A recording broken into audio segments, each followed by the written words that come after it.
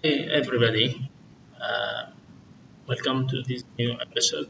Uh, this uh, video we're gonna learn how to upload your existing project to your GitHub account using GitHub GitHub desktop application.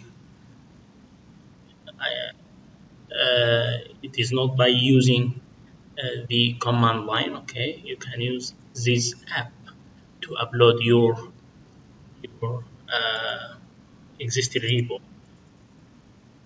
Okay, this repo has one folder and one file.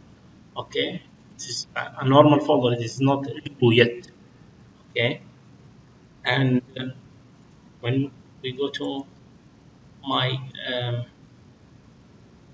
my GitHub account, I have no, I, I don't have this repo here but to upload it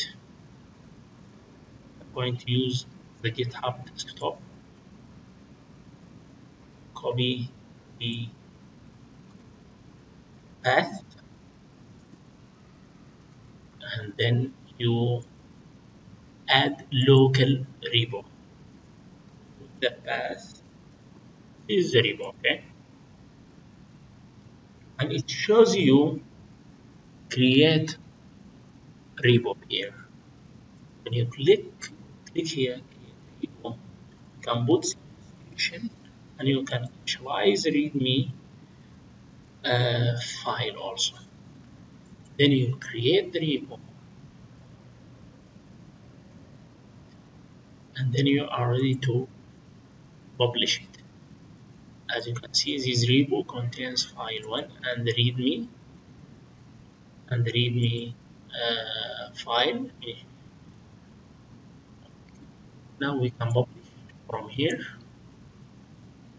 to the server to the github server publish. Now when I refresh this now is updated now uploaded now and it mark uh, I, I marked it as private repo but you can make it public. Okay so everybody can access can have access to this repo but if you uh, made it private to allow somebody to access your repo which is contain file one here you go to the setting and then you go to manage access. And you invite invite your your friend who is gonna work with you on this project. Uh, thank you for watching. Please subscribe to the channel like the video and uh, share it uh, with your friend